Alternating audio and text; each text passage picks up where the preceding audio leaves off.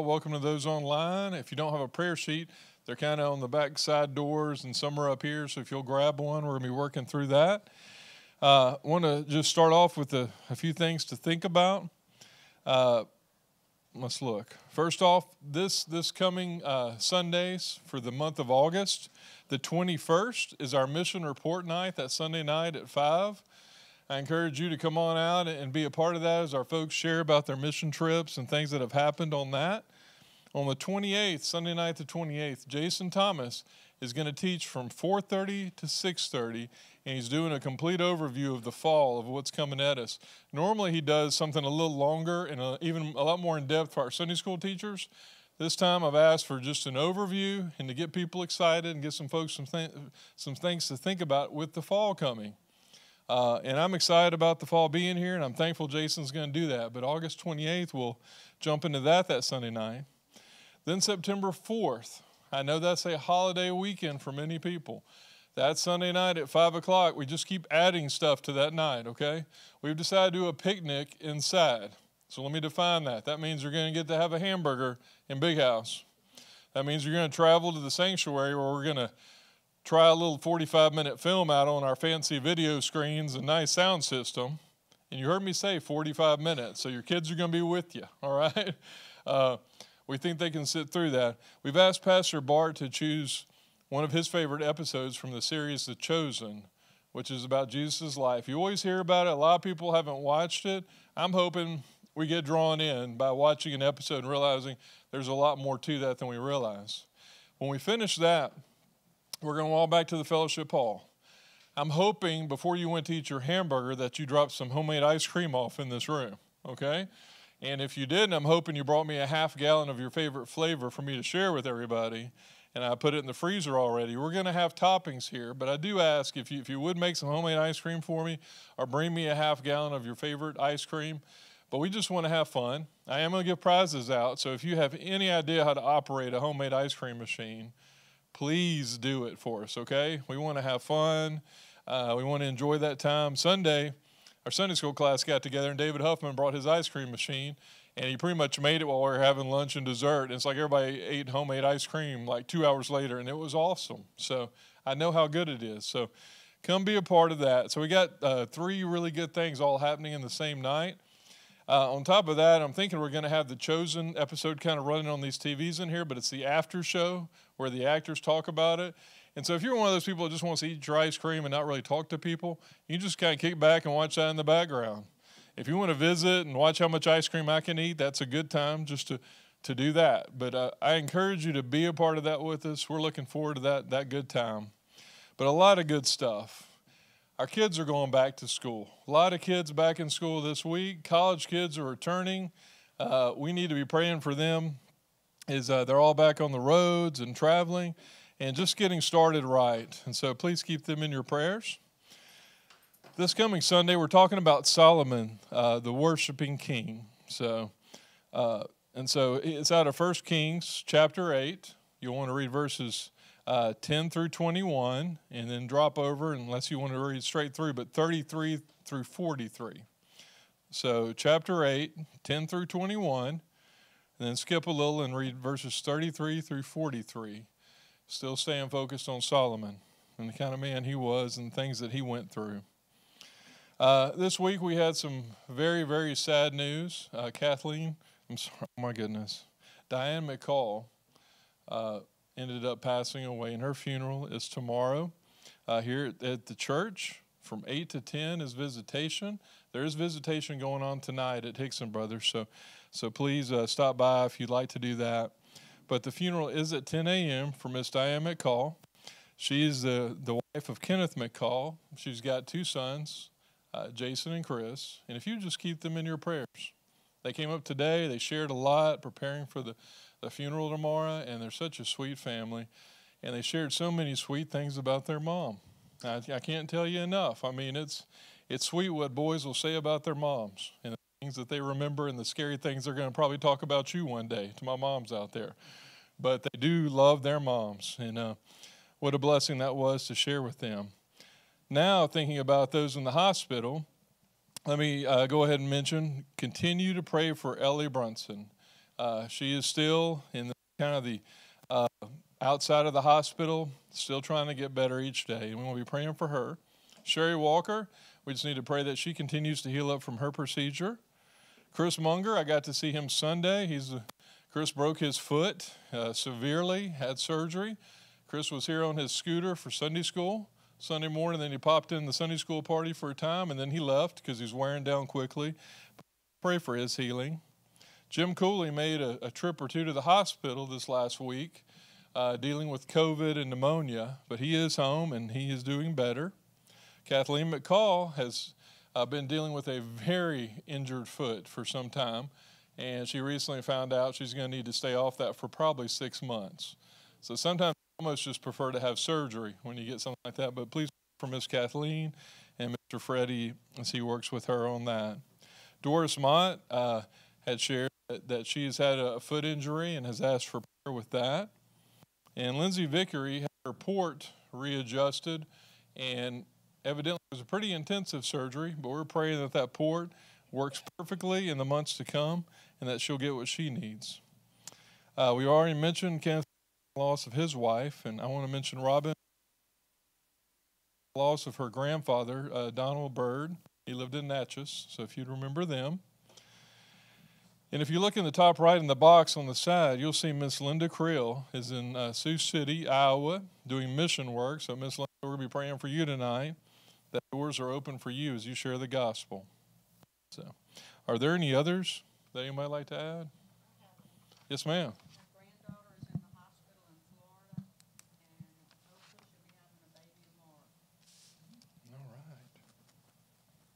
What is her name?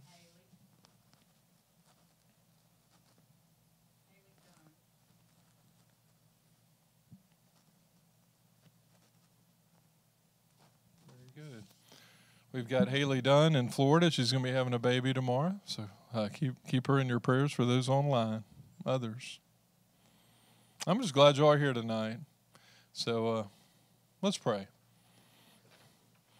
Our sweet Heavenly Father, God, we, uh, we just walk in your presence and we, we say thank you. Thank you for loving us. Thank you for walking with us. Uh, Lord, for those in this room right now, I know they have so many things going on in their hearts. And in their, their jobs and their careers and the concerns and, and medically, Lord. And, and God, just help us to, to continue to put those into the proper place. And Lord, for us to focus on what you have for us, Lord, and continue to reach out to, to those around us. God, I ask you to, to be with uh, all of these on, on our prayer sheet tonight, Lord, and our entire church, especially those not spoken. Lord, I ask that you continue to heal Ellie Brunson so she can return to her own home with her parents, uh, hopefully very soon. God, I ask you to, to be with Sherry Walker and to help her uh, to fully heal from this procedure. And the same for Chris Munger with his, his foot. Lord, I ask you to be with Bill Mount, who's had his knee surgery. He's finally gotten to go home. Lord, keep his spirits up and allow this knee surgery to, to, to do what it needs to do. Lord, thank you for, for taking Jim Cooley through a very tough time, and we ask for complete healing in his life. And Lord, for Kathleen McCall, I ask you just to, to be with her foot. I know the weeks have already added up, and, and many more yet to come. And the same for Miss Doris Mott, Lord, that God, you just keep her spirits up and focus as she continues to, to battle to get back where, where she's wanted to be for so long. God, uh, the same for Lindsay Vickery, God. Lord, that she wouldn't be just down and, and dealing with things and feeling overwhelmed, but Lord, be in her life and, and bless her. And God, take care of Miss Linda Creel as she ministers, uh, ministers to the world, whether it's on street corners, you know, walking down in shops. Lord, we just ask for a prayer of protection for her as she is there doing mission work and whatever it takes to, to share the gospel. Lord, bless her and protect her. God, I ask you to be with Kenneth McCall right now and his family, Lord, as they deal with visitation at this moment. Uh, Lord, it's it's been a hard week for him, and he's he's only surviving because you're you're the Lord of his life and you're carrying him through it. God, be with his family and the loss of his, his sweet wife. Lord, I ask you to be with Robin and her family and the loss of her grandfather, Lord, and, and we're thankful for the life that he lived.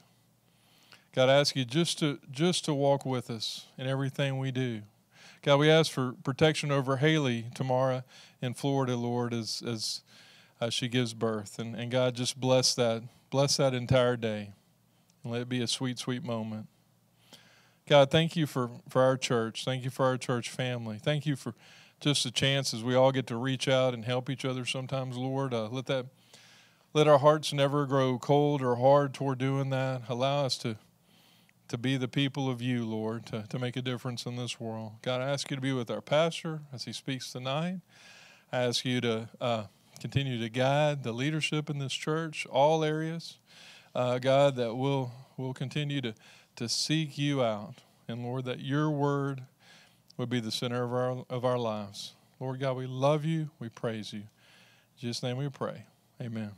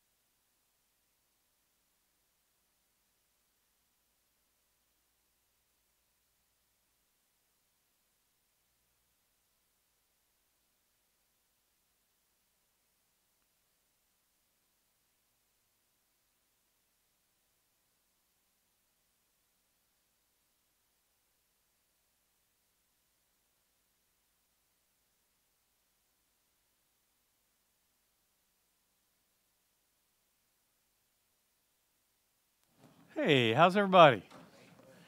Got a new table set up tonight, kind of left over from our gathering today. Kind of like it. It's pretty cool. Very good. Let's pray. All right, Father, thank you for letting us be together this evening. We continue to pray for Kenneth and his sons and their family. Uh, Lord, in the departure of one so dear to us.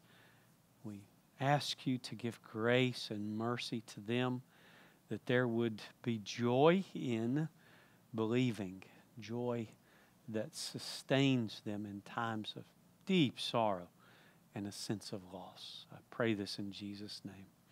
Would we also ask you to give grace to us as we open your word, that we would be uh, filled with your spirit, that we may gain insight and understanding from your word. In Jesus' name, amen. Okay, grab your Bibles. Hebrews chapter 10. I want to talk to you this evening. I shared this message with our deacons on Monday night. And so a couple of folks that are here, it's a little repeat for them tonight. But I really am um, moved by this text and especially in light of so many folks that are struggling.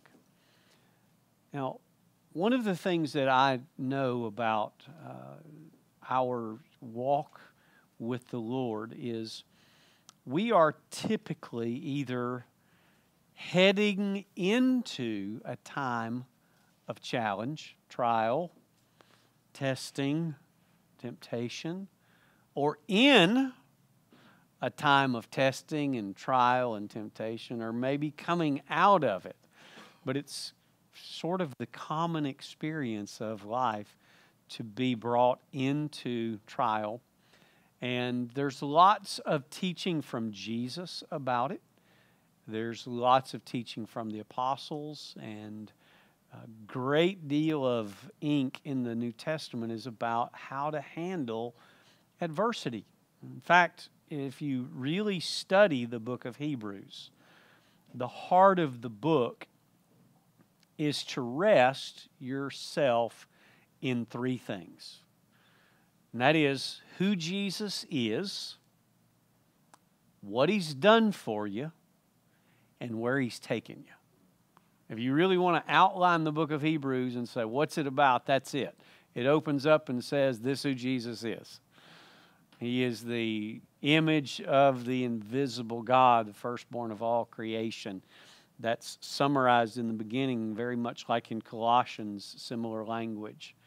And it just lays out who he is. And then it says in from literally chapter 2 all the way to chapter 12, it's what he's done for us. But woven into that is where he's taken us the assurance of our salvation and our heavenly reward. And when he makes all things new, our participation in all of the blessings of him making all things new. So the book of Hebrews was written about those three topics who he is, uh, what he's done for us, and where he's taken us, because life is hard and because life is challenging and it's disappointing and it's sorrowful and it's um, it's hard. Just they're just seasons when you go through, and you think, man, I didn't think it was going to be like this. And so, one of the things that God has been stirring in my heart over the last months, and it's probably goes back way more than that, the last few months, coming out of COVID and the world's a little different the world's just a little bit more negative. It's not that it wasn't negative before, but like you really can't turn on the TV without it just being negative. It's just negative. And uh, that's just kind of how the news feeds are. It's kind of how whatever's going on the internet. Twitter is like a dumpster fire. Facebook, I, don't, I won't even go there. I just stay off of Facebook. It's like, because my, my general response to a few minutes on Facebook is, Are you kidding? You're a Christian. Are you kidding?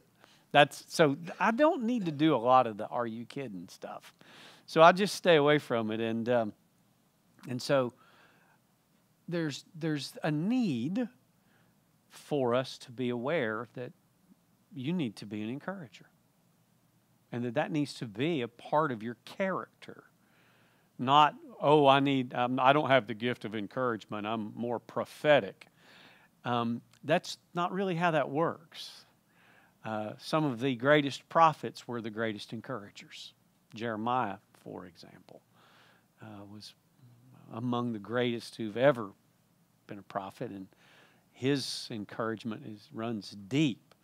In fact, in Lamentations, you have this great lament, and we get that great chapter 3, verse 22 that the loving kindness of the Lord never ceases. It's new every morning. Great is thy faithfulness. So we make songs about this encouragement that he gives. And so I really wanted you to think about your role as an encourager and how you use your mouth and how you use your time and how you use your resources um, to be an encourager. So that's the topic because life is hard and you really never know what people might be going through. Uh, so let's kind of look at the text and talk about how the writer to the Hebrews develops his thought here. I think it's really good. It begins Let us hold on to the confession of our hope without wavering, since he who promised is faithful. So let me just kind of say to you, he's reminding you that who Jesus is and what he's done for you and where he's taking you is, is rested in the faithful promises of God and that you can rest in those. So that's kind of the premise of his conversation with the folks at this point. He says, Okay, the reason I'm telling you this and the reason you can do it is that God's faithful. This new heart you've been given by Christ and by the new birth is able to lay hold of these promises and, and enjoy them and grow in them and, and rejoice in them. So that's kind of how he starts. But let's read on through the text. Let us hold on to the confession of our hope without wavering, since he who promised is faithful. And let us consider one another in order to provoke love and good works. Not neglecting to gather together, as some are in the habit of doing, but encouraging each other, and all the more as you see the day approaching. So, the introduction to this section is let us hold on. I want to just develop that thought with this idea. Everyone is living under the weight of something, and they're holding on or they're bearing under it. This is a universal thing. On any given Sunday, it's likely you'll sit among people who seriously contemplated taking their life that very week. And you'll actually be among some, and I can tell you because I know that walked right up to the edge and something stopped them. Someone, they didn't take their life. And so on any given Sunday when you gather, there are people that are so deeply hurting that they are surprised they made it there, not because their car was, you know, not going to make it, but because they may have taken their life during the week. And so if you layer that with all of the other things that folks are just challenged with through the course of the week, life is really hard, and everyone is living under the weight of something. Whether it's financial stress or marital stress or physical stress or the feeling of loss or the emotional weight of things not going well in some of their connections with others, the feelings when your body is not as capable as it once was, or just lots of things that go on. And so everyone's feeling that.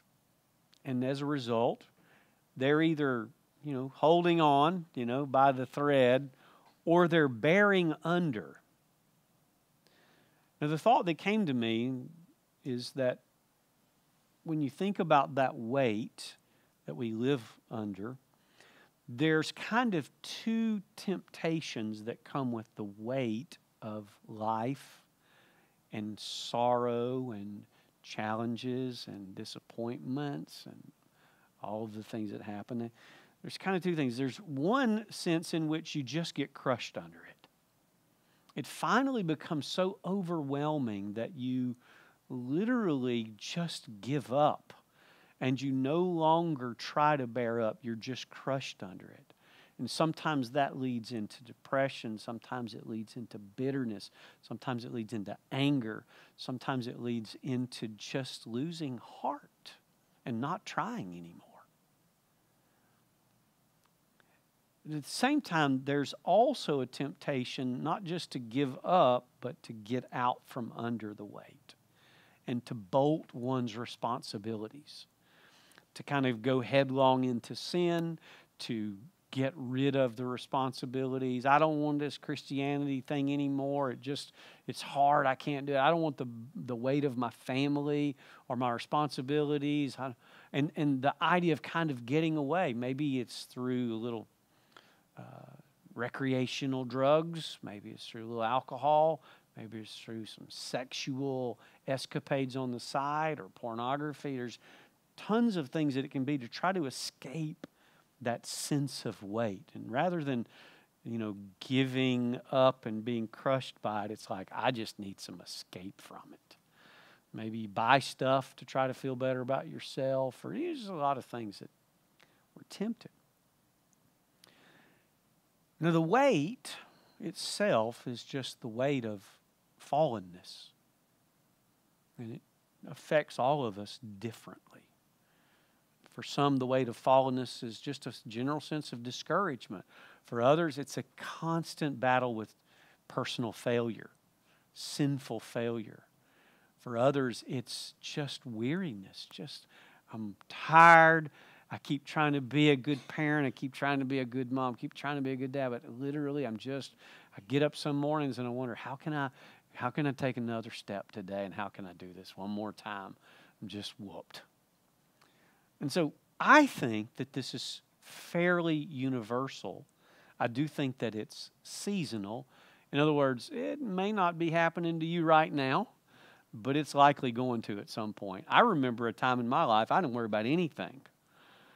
And and and that life is real different from that right now. I remember a time it's just I was just so happy go lucky. It's like nothing bothered me at all. But I don't feel that way anymore. So I think there's seasons of lives. So let's go back um, to the text. Because what the writer to the Hebrews says is uh, you need to hang on, you need to hang in there. You need to stay under the load of responsibility of walking in Christ and all of the temptations of this world, the work of the world, the work of the flesh, the work of the devil that's working on you. You need to know that you don't have to give up and just crumble under it. There's help available. And you don't need to try to escape it in some kind of deceptive thing that would bring you into some kind of pleasure and some kind of sense of, ah, oh, man, that's relief. And so the writer of the Hebrews says, let's hold on. Now, understand that as he writes this, the persecution in their day was very high.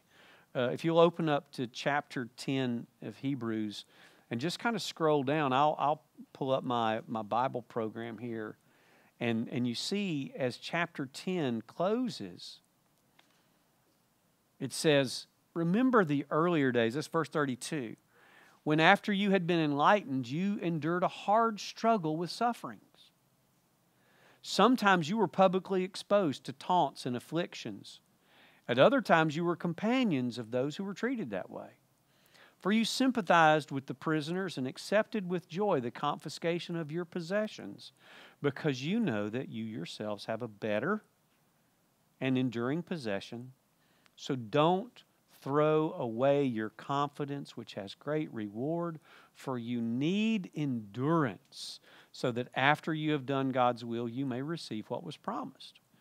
So he's taking into account that they're hurting. But the passage in chapter 10, 23 through 25 isn't so much about your self awareness. There are other passages in Hebrews that are about your self awareness. This is one of them, 33 through 36. In 23 through 25, it's a little bit different. So, looking at our text again, everyone is living under the weight of something, holding on, bearing under. A lot of times, what we do at this point is we're internally saying, Amen. This is true of me. This is describing my life, uh, the past month or the past year or the past decade or the past 10 minutes, whatever. Is yeah, I'm in there. Or I remember when I went through that five years ago or whatever. Yeah. And it's like, Amen. But that's not what the writer's wanting you to do here. He's wanting you to actually go a little further. And, and that's why he says, and let us consider one another. So here we go. The first part of being a, a, an encourager is considering. The word consider means to study, to be attentive to, to focus on. It's um, it's kind of like what you do when you're really looking at something. You don't just glance at it and notice it. You take such note that you begin to study it a little bit and notice details. And so, in this message of becoming an encourager, he's asking you to get outside of yourself for a minute and to take a look around and to look at the people that God has put in your path. He's put in your life, He's put in your church, He's put in your small group, He's put in your family, He's put in your neighborhood, to look at them. And to go beyond judging them, which is really easy, and to go beyond ignoring them and to just really look at them and to consider them. And that's what he says. What you need to do is we need to consider one another. This is one of the one another's, by the way. You know, you got love one another, forgive one another, bear one another's burdens. You got like 56 one another's in the New Testament, but this is one of the unusual ones. It's consider one another. It means to study, what makes the other person tick? What's their thing? It means to care about them enough to give attention to figure them out. And so he's saying, take time to consider and notice others because it's not about you. You see, when we come to church, it's very easy to get self focused. I want my temperature. I want my seat. I want my habit. I want my favorite music. I want my timetables. I, there's a lot of my that goes into church. And, and, and we've had people tell us if you don't do certain things, um, I probably won't come. And, you know, and, and when we hear things like that, it's, it's a very, it's kind of gets to be about one's own self. And um, this is a this is a challenging thing to work through because we are by nature self-centered. We just are. That's us. We just we're born that way. We cry when we're hungry and cry when we wet our diaper and we're just kind of self-centered. We need some attention to ourselves and we're dependent on others and, and so there's a very innate part of the fall that makes us self-centered and that self-centeredness moves into the body of christ when we should be very other-centered sort of a philippians chapter 2 not looking out for your own self-interest but also you should be looking out for the interests of others and so considering and this is a this is not him asking you if this is your gift. Some people, it's their gift. They just, they're very considerate. We use the word.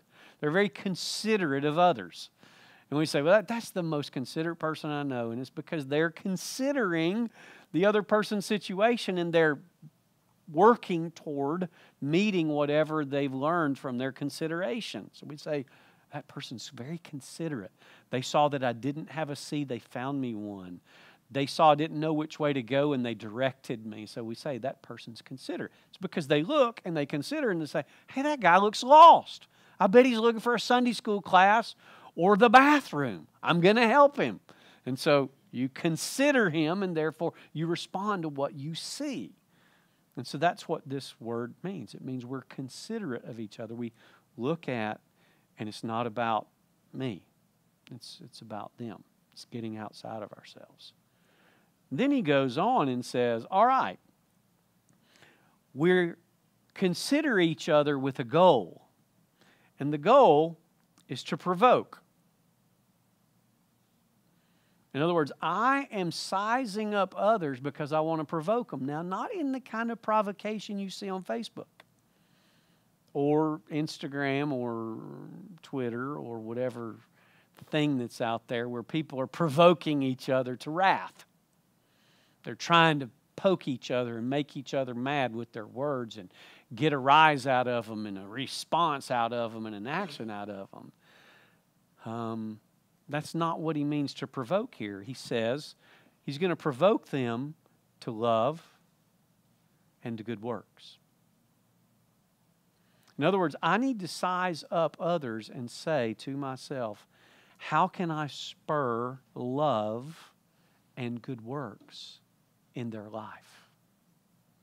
How can I do that?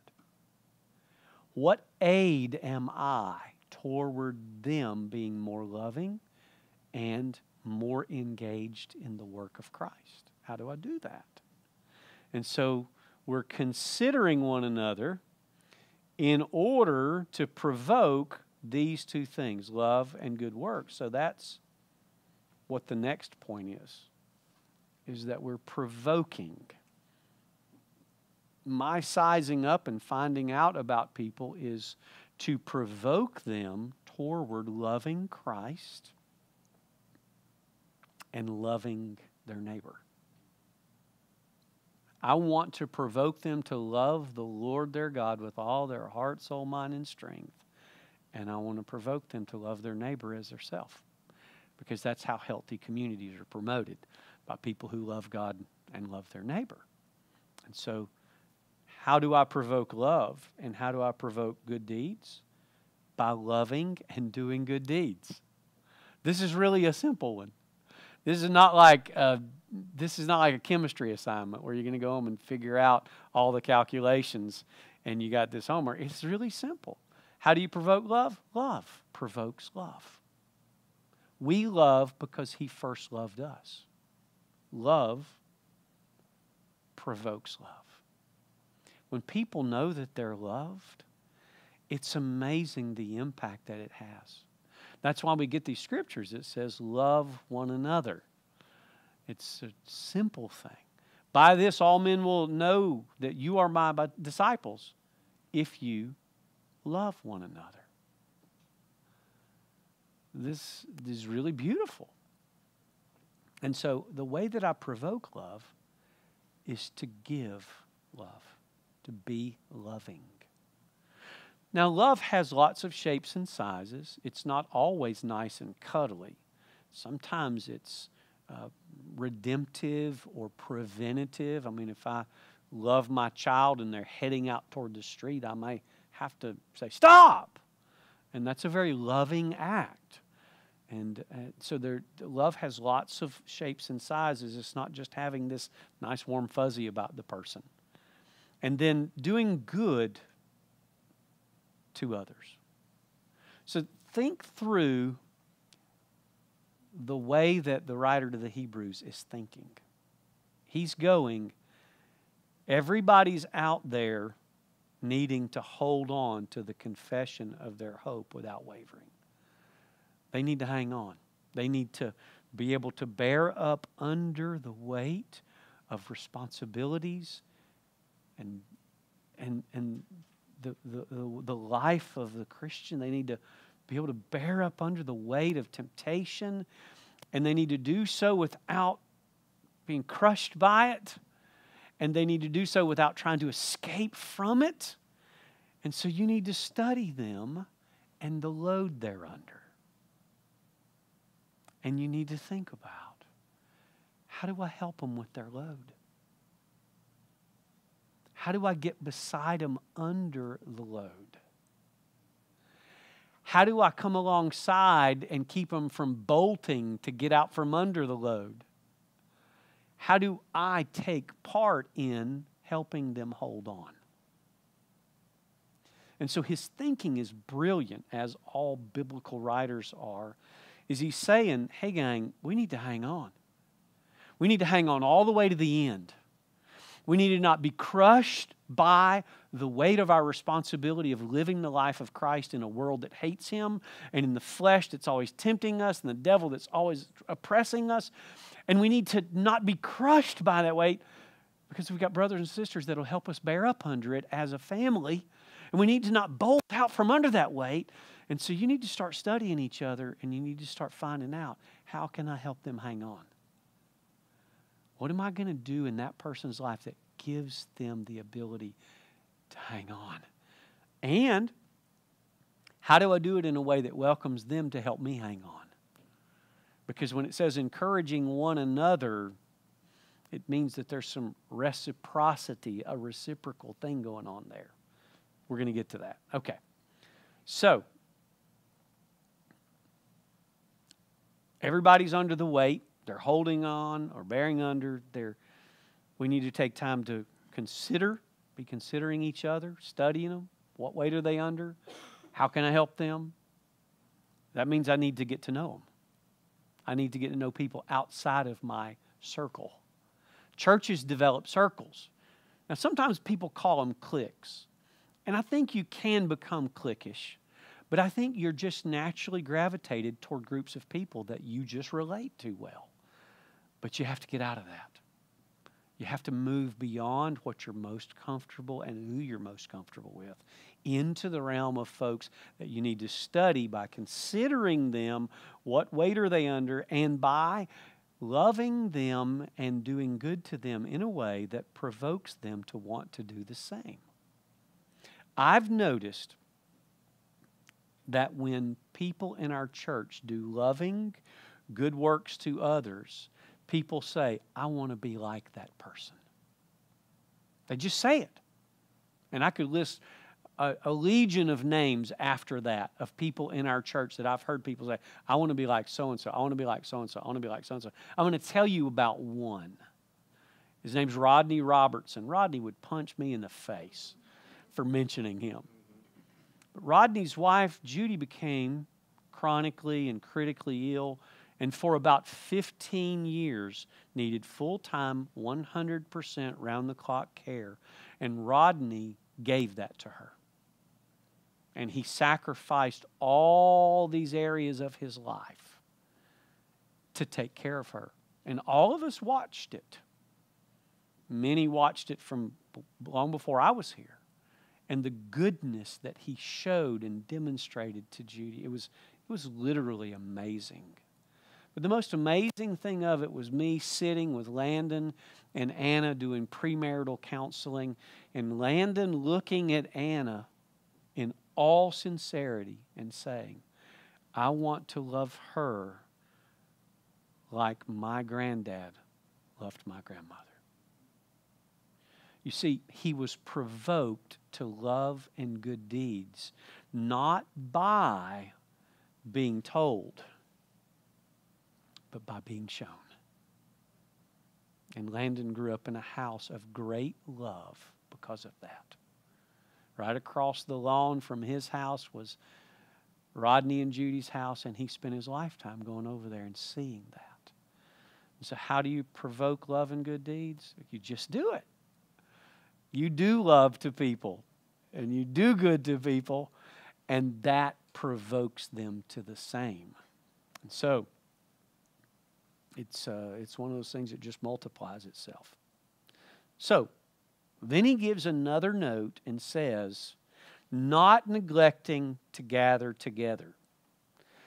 You know, if you grew up in church, you probably heard sermons on you ought to go to church. And I'm a big believer in that. I happen to gather here frequently. And so I'm a really big believer in gathering at church, but not legalistically. I don't want you to go out from any gathering, we say, and have some idea, well, if I don't go to church, I'm going to hell. You know, you can just get, I'll just say it, you can just get stupid with your thinking sometimes. I did it. And legalism just makes us kind of dumb. When we're called to gather together, it's out of necessity, not obligation. One of the things that God has chosen to do is make all of us need each other in ways that we cannot comprehend. When Paul gives the illustration in chapter 12 of 1 Corinthians, and he says, The eye cannot say to the hand, I have no need of you. And he just gives that list of all these body parts and then he talks about the unseemly body parts are even more important than the seemly ones which is a really if you dig into that text it's kind of embarrassing to work through its meaning. And basically what he's saying is is the stuff you tend to hide you really need. And so he has this idea that there is a design of necessity in every local body. And it does extend into the global body in ways as well, but in every local body, that you need to be together, even if you don't know that you need it. You need it, even if you don't think you do. That the design of God is that the body needs each other. And so we, we don't go on a rampage and say, oh, I'll tell you what, you know, we, we need more We need more people sitting in the pews. You can get really crazy about all this stuff. When we get together, we get together because we need each other. And we have to be convinced of that. And we have to become convinced that there are some people in this church that need you when you don't feel like being here. They need you. And there's a way that they need you that they can never explain nor you can ever understand, but in God's design, they need you. And so when he says not neglecting, can others count on me to gather with them? In other words, am, am I just coming because I just want to be there and I know I'm going to get something that I want? Or do I have a sold out belief that this group of people that are called to gather on this campus actually need each other in a way that none of us could ever explain this side of heaven? But it's true. Inescapably, biblically true. It's in God's design. That's why years ago I preached a sermon. It was pretty interesting as God led me up to it. I called it the Franken Church.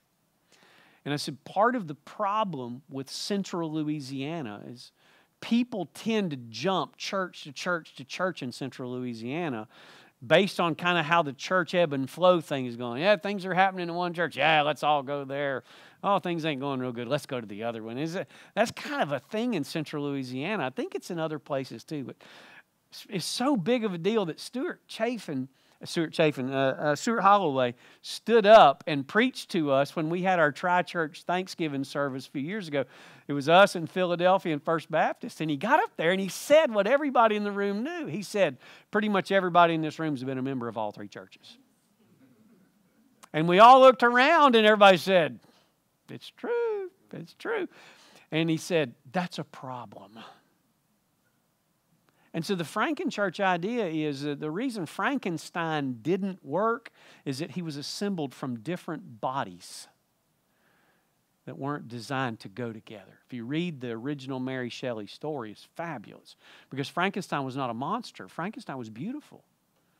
And if you, there's only one edition of that that's ever come out that was really true to her tale because Frankenstein was a handsome guy. And then this stuff started growing as the body parts started rejecting each other. If you're not in the church that God's called you to be, you're frankenchurching. And your part don't belong. now, I'm not smart enough to know when that is, but I think every heart that is redeemed is wise enough to know when it is. And so there's this beautiful thing of not neglecting so he says, not neglecting to gather together. And then he just says it, as some are in the habit of doing. You know, it's like, I know y'all are out there. You might not receive the letter that was sent out to the Hebrews, but you're going to hear that I mentioned y'all. And that is, you're not there. And you need to be there not because of obligation, but necessity. And so, uh, the, one of the ways that I explain it is anytime the church gathers, one person is bringing to the table of fellowship something that another person needs, and they're also, by coming to the table of fellowship, receiving something that they need. But often, neither can actually be seen at the moment because it's a spiritual thing that's not always analyzable but heaven knows, and that's why heaven gives us these instructions. And so, not neglecting to gather together, which means we need each other. Deep. And there may be someday, and I'm, I'm going to tell you a story, blow your mind. I got to tell the story to a, a friend of mine just recently. Several years ago, one of my really good friends accidentally shot and killed his wife. It was New Year's night of 2007, New Year's Eve night of 2007. It's one of the most horrible things I've ever been involved in. The story behind it is just heartbreaking. There's a burglar that had been breaking in a series of houses in the neighborhood. the burglar had come to my friend's house and unscrewed all of his safety lights so that they were still in the socket but wouldn't come on. And he knew he was being set up. And uh, when he got up to go check on the burglar, he didn't know his wife went to the other end of the house. And when he saw her move, uh, he thought she was the burglar and he shot her. It was a horrid thing. And I asked Kingsville, I just moved here. I was brand new, 2007. Um, uh, and so, excuse me, it's New Year's 2008. We are going from 2007 in 2008. And I just moved here in September 2007. And so I, I asked everybody, I said, um, I need you to write a card to my friend Glenn. You just need to do it. And just tell him something. I don't care what you tell him. Tell him your favorite Bible verse, but write him a card. Everybody just, I want his mailbox to be stuffed for days. And, and, and, and Kingsville did in perfect Kingsville fashion. Hundreds of cards went, went to Glenn and stuffed his mailbox. Couldn't get them all in there. It was great for several days. It was just full of cards. Well, somewhere between six and nine months later, Glenn called me one day. So if you want to kind of gauge need, um, he said, I, I got to tell you something. He said, Last night I sat down on the end of my bed. And he said, I had my pistol in one hand, and I had the cards from your church in my other hand. And the cards from your church won, and I'm still alive today. Now, when you think about need, you're at need at a level that that's inexplicable. I don't know whose card was the one that kept him there. But God used that one card that he finally flipped open and was holding in his hand the moment he had chosen he was going to take his life. And he read that card. That person doesn't know who they were. Glenn doesn't remember who they were. God knows who they were. They're going to get to heaven and to go, Me? I thought it was the lamest card I ever sent. But he needed you. There is a way that we are interlinked by the Spirit that we need each other in ways that we don't even know. It's, it's a mystery. And so don't fail to gather just because you don't feel like it or don't think you'll get what you're looking for. You're as necessary here on any given day as I am. That's hard to take in, but it's true. In the body, there's only one head, and it ain't Bart. It's Jesus. And that means all the rest of us are of the same level of importance and we need each other. So, how does he close? He says, Don't fail to get together. And this is everything from the big church gathering to the life group gathering to the neighborhood gathering to the coffee shop. I spent two hours at the coffee shop. One of my favorite people on earth today, Wes McKay. And it was just great to be with him as brothers in the Lord. And just, it was just sweet.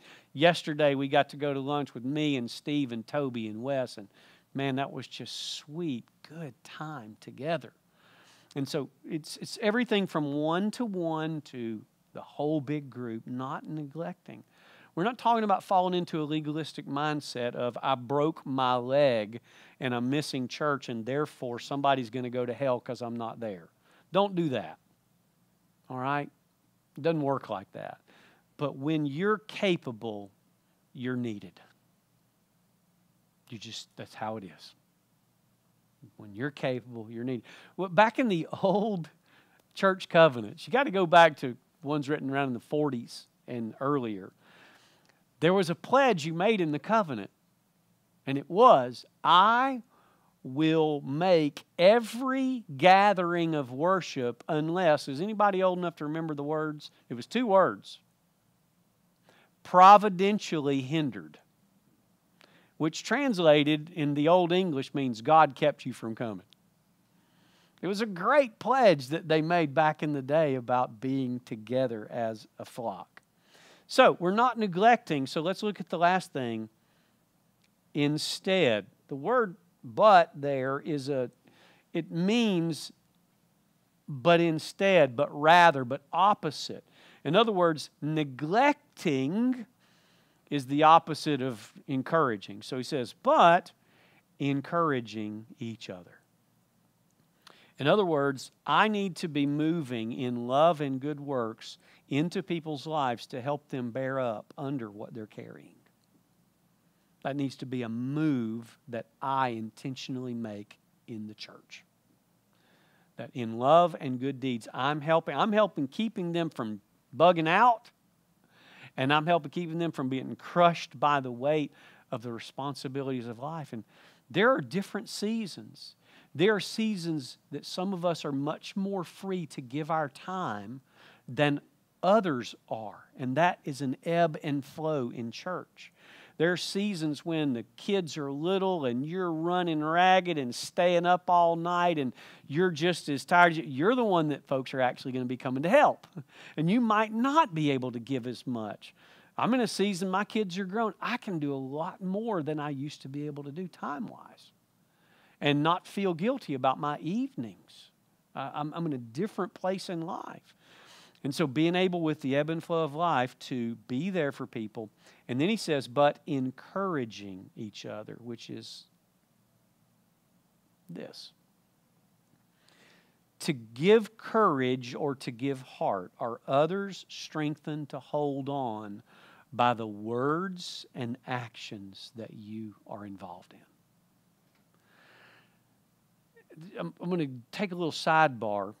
Um, churches are imperfect places, and there are times to be concerned and to bring things to people's attention to get them fixed because they're really imperfect places run by idiots like me. Okay? And so there's mistakes you make. And so what I'm going to say after this isn't one of those things to say, oh, you should never critique your church. You should, honestly, you should be a very good critic of your church in the sense of not a critical spirit, but always wanting the best because what we're doing is unto the Lord. One of the most helpful times in my life was a guy named Connor Burns, guy I ride bike with, uh, ride bikes with in Natchez. We went on a bike ride one day, and he said, "I need to talk to you about your sermon today." And I'm like, "Okay." And he said, "You were wrong." And I'm like, well, that's a pretty good start. Connor loves me. He's a dear friend of mine. But he said, You presented Christ in a way that diminished his true humanity and made it look like he got a pass on human the human condition. And I thought for a minute I said, You're exactly right. And I had to go back the next Sunday and I had to fix that.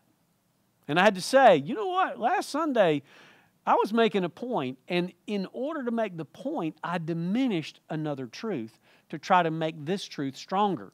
I was working on some divinity issues of Christ. And I said, in order to do this, I actually messed this up. And thankfully, I had somebody that loved me enough to say, that wasn't right. We need that to be strong. We can't live without that. And so it doesn't mean, so my next statement isn't don't ever get and fix, don't ever work to fix things and make the church the most excellent it can be. But that's very different from a critical murmuring spirit. And if you develop a critical murmuring spirit, here's what happens you add to the weight that people are bearing under. And you may be the one thing that breaks the last straw of strength they had to stay in church because they may have gotten hurt before in church. They may have been neglected in church. They may be suffering from something that nobody in the church knows about, and they feel like nobody cares, but nobody knows that they're hurting. You come alongside them and molly grub with them and you say, Yeah, I boy, I tell you that church, blah, blah, blah, blah, blah. And they just are crushed because they needed you to be the church to them and lift this weight off of them. And instead, you just threw some heavy stuff up on the top that discouraged them and they were crushed under it. it's important to encourage each other. Even when there's things that are imperfect, there always will be. And we always have to work on it. But the beauty of this is, is when we come together and a guy loves me enough to take a bike ride with me and speak to me, he breathes life into the church. He didn't go and find his friend who was already discouraged about something in church and say, Yeah, Bart just, he just totally, I think he's a heretic. He didn't do that. He challenged me to grow and see my own error. And if we can't have an environment that challenges each other to grow and see our own errors, we can't grow up. We'll all stay baby Christians, pitching tantrums every time everybody, someone comes to us and says, You need to grow a little. And ah, not me. And so, encouraging means to give courage to, all right? Encouraged to face what they're, they're, they're uh, uh, facing and to give heart. That's really what the meaning of the word is. It means to strengthen the heart of someone. Well, how do you strengthen their heart? It's the same thing love and good deeds. When you love them, it strengthens their heart. When you do good to them, it strengthens their heart and it gives them encourage. And so, what I want to ask is when I spend time with somebody and I walk away from them, were they strengthened to hold on? back here, were they strengthened to do this, to hold on to their confession of their hope without wavering? Or did I encourage their wavering because I was wavering? What this does is it does a couple of things. First, it gives us a new set of eyes when we come to church on Sunday. We need to look around and not just for our buds. It's easy to just find our faves when we get to church. That's just how life is. I'm so glad to see people that I'm really close to that it's easy to just kind of get in that groove rather than in the groove of, let me look around. Is there somebody sitting alone? Is there somebody new? Is there somebody that looks a little bit uncomfortable, timid? Is there somebody that suddenly changed where they were sitting in church and they went from up here to down here, down here to up here? I need to look around and I need to say, what's going on? Is there somebody whose spouse is missing? They're normally here. Is there somebody whose kids aren't there and they're normally here? Is there some youth that their parents who are normally here, they're not here? I'm considering. That's all I'm doing. I can't fix it all. But if there's 400 people thinking about fixing one, we'll do a really good job every Sunday.